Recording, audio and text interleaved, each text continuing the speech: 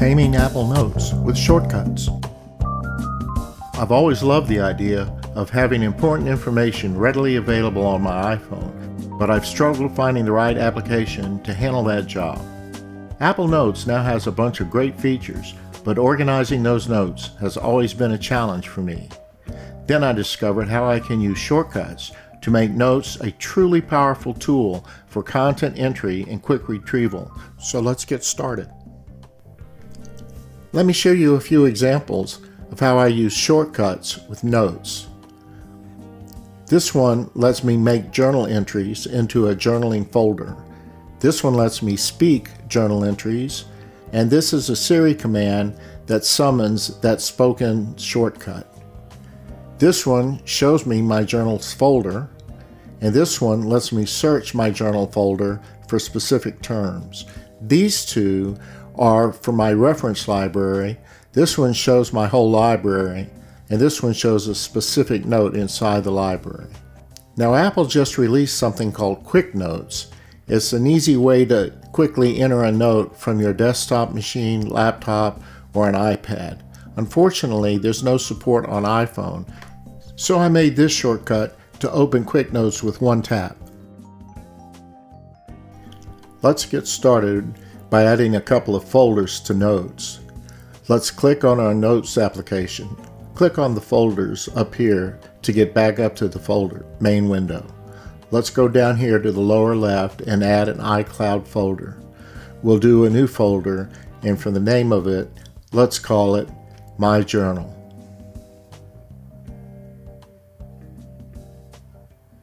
There we have it. Now let's do that again and we'll name this one My Journal Search Results. Now we have our two folders that we'll use within our shortcuts. And they're really the key to making all of this work because we'll put all of our journal notes in this folder. So they're all in one place and can be easily retrieved with the shortcut. And then when we do search, similarly, we put all the search results as notes in this folder. Before we get started building shortcuts, let's take a moment to build a favorites list. This will be a list of the commands we use to build each of these shortcuts. So we'll go into the Shortcuts app and the main folders page. Let's add a folder and let's call it temp. Click and add. We'll open that folder. We'll add our first shortcut.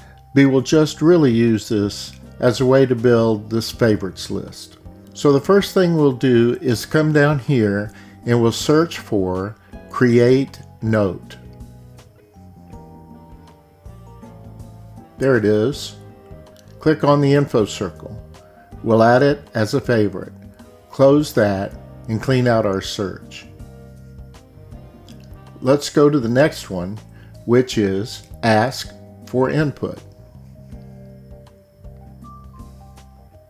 Here it is. Add to the favorites and close out. Clear our search. The next one we want is append to note.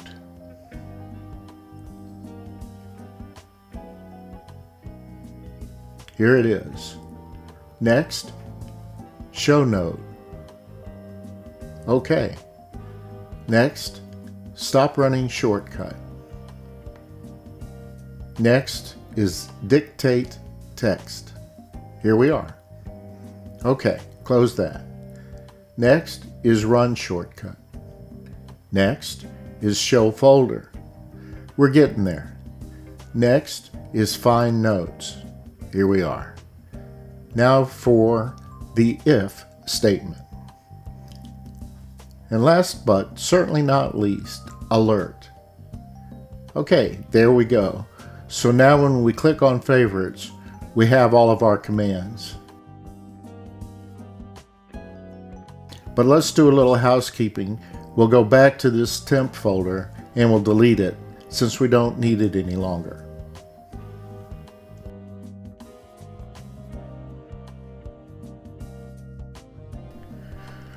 Okay now, let's create our first shortcut. Let's open the Shortcuts app.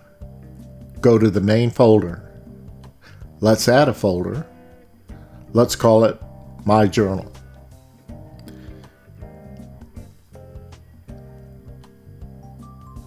This will be where all of our shortcuts for journaling will be stored.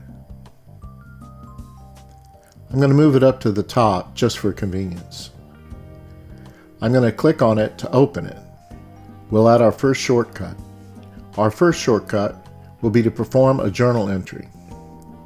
So let's just name this one My Journal as well.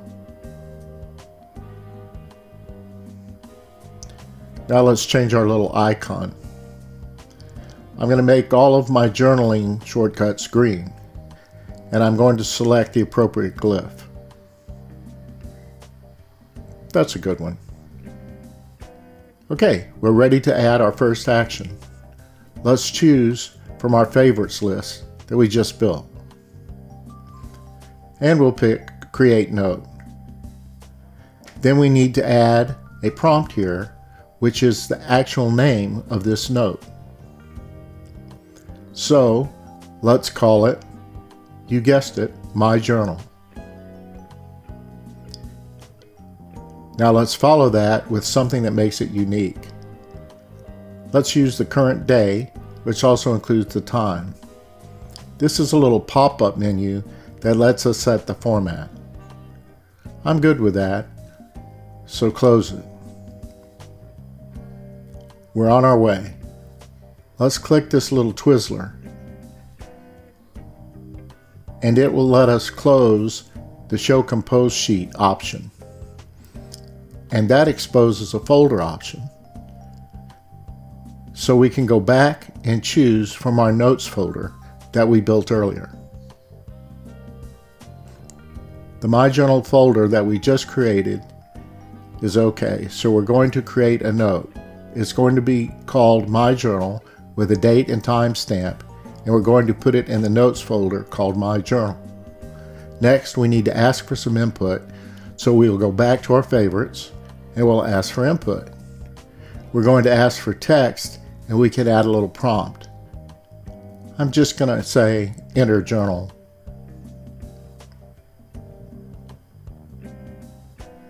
Okay, so we've created the note.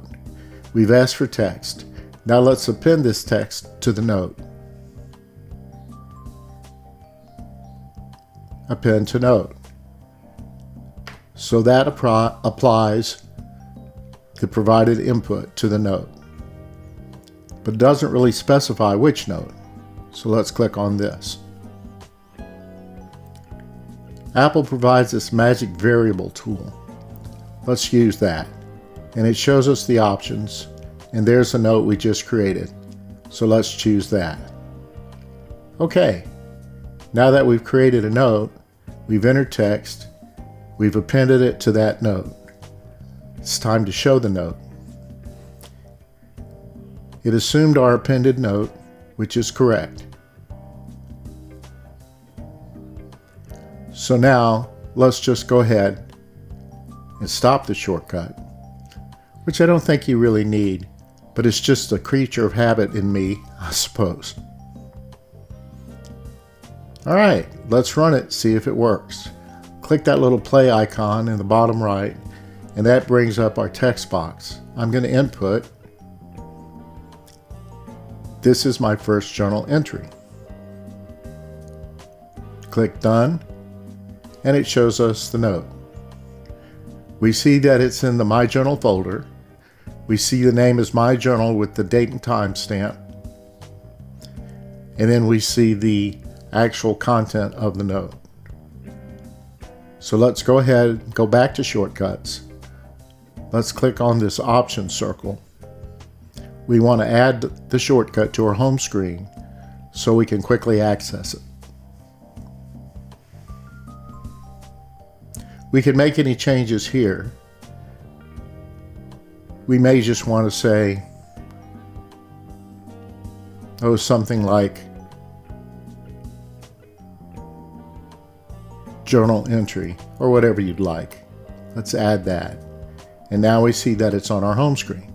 Okay, now let's add a shortcut that allows us to speak a journal entry. So we go back to our shortcuts, make sure we are in our My Journal folder. Let's go ahead and duplicate this one. Just tap and hold, and then we'll say duplicate. The duplicate is My Journal 1. Tap on the More Options circle. Let's start out by renaming this. I'll call it Speak Journal. Okay, let's change this glyph. How about this microphone? All right, done. Let's go to our favorites list and find dictate text. And then let's go ahead and drag it up right underneath the create note. Now let's delete the ask for text. We don't need that anymore. And we see that the provided input turns red here because there's no text input. So let's select that, clear it out. Now we need to know what we're going to append. So let's click here and select dictated text. Okay. Let's go ahead and come back to here and change this stop listening to on tap. That works better, at least for me. Let's give it a try.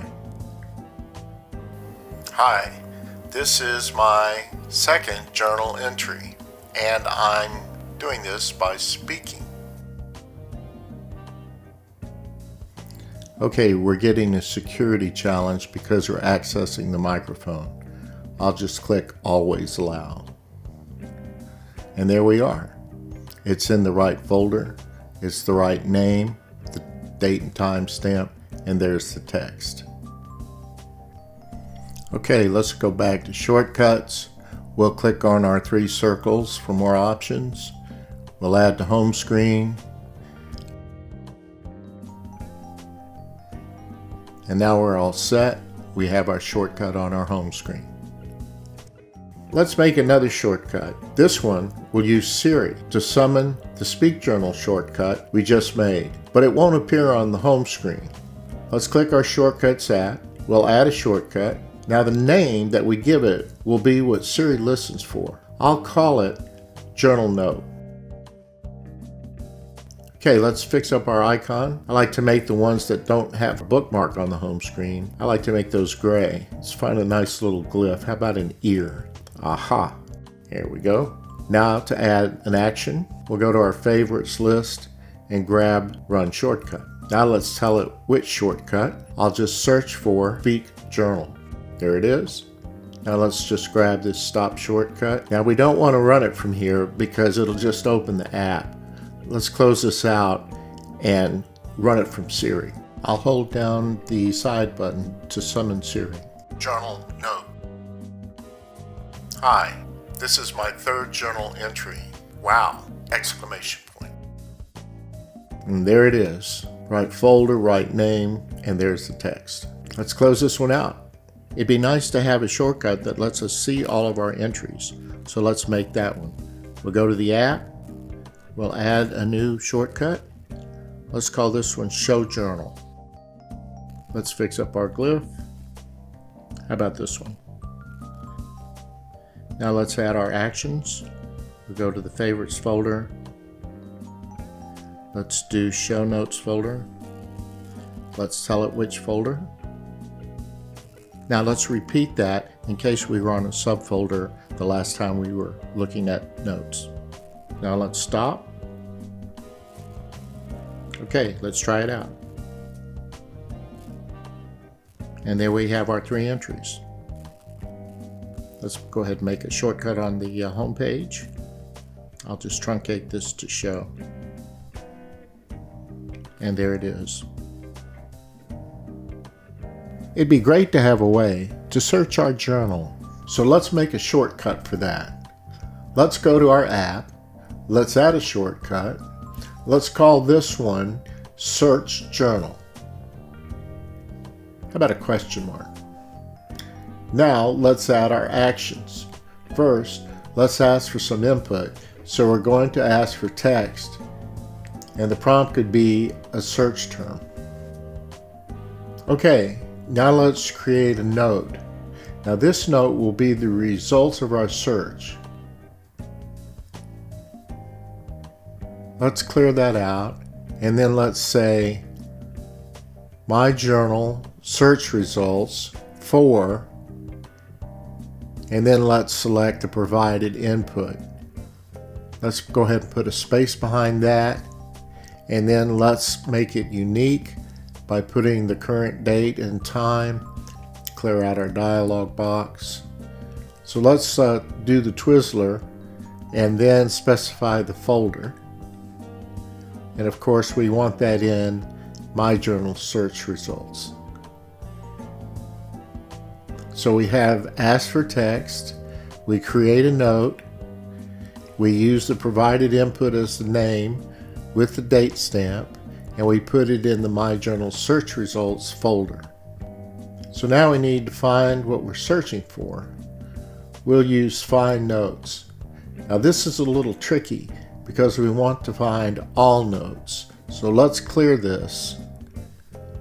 There we go, it defaults to all notes. Now let's add a filter.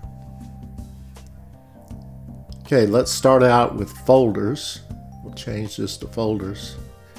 And then let's find what folder we want to look in. Now we want to look in My Journal. Okay, now we add another filter, and now we look for the body, and that contains provided input. So we have this thing that's a search result that's called notes. So let's do an if statement because we have to cover the eventuality of nothing being found. If notes does not have any value, let's do something. Let's append something to our search results note. We'll drag this up here. Append notes. Let's clear that. And let's say append some text. We'll just type nothing found okay? And the note we want to append it to, it's not this one. That's the one that has the search results. We want to append it to the one we made at the beginning of this. There it is up top. Okay. So if notes does not have any value, we append nothing found to our search results node. Now let's show an alert. We got to drag it up inside the loop and then we need to put something in there that just says nothing found. Okay, let's quick this Twizzler and let's not show the cancel button. We don't need it. Okay, now what if we do find something? Let's go ahead and append our results. So again, we have to pull this up into the loop, right? Come on. Right there. Okay. So we append notes, that's our search results, to our note folder. So let's go ahead, use the magic, find that folder, there we are. Okay, append our search results to note. Okay. Let's go ahead and show our results. And again, we have to drag that up. There we are. And the Shortcuts app changes the note to appended notes right above it there. Now let's go ahead and stop. Okay, let's try it out. Let's search for journal. Takes it a second. There we go. It put the results in the My Journal search results folder and it named it journal with the date and timestamp. And there were three instances, which are our three notes that we made.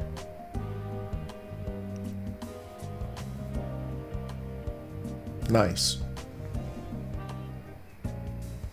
Let's run that again. Let's look for something else. Let's try wow. Takes a second. And there we are, the one note that had wow in it. Now, one more time. Okay, let's try something that wasn't in any of those. Let's just try A, B, C.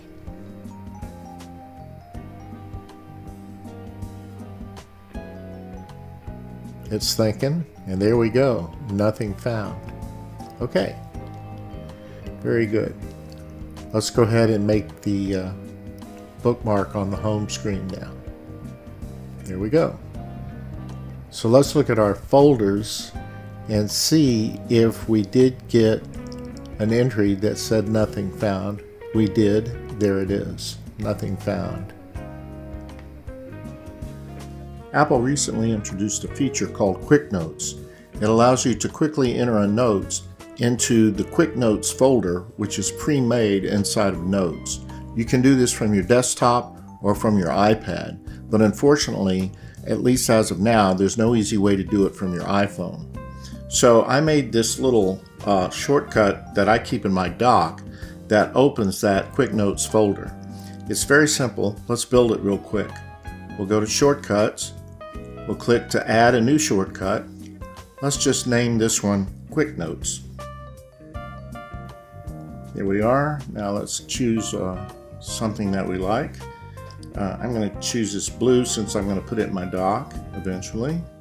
And whatever icon you like. How about this little play button? Something like that. Okay, so let's add an action. We'll just go to our favorites and we'll say show notes folder.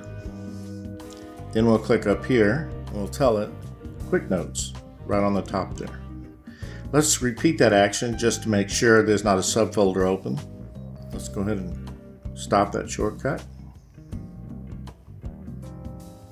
And we'll try it out. And there's my quick notes. So far so good. So all we need to do now is add it to our home screen And there we have it. I hope you found this video useful, at least enjoyable and entertaining, and I hope to see you on the next one. Thanks for watching. Bye for now.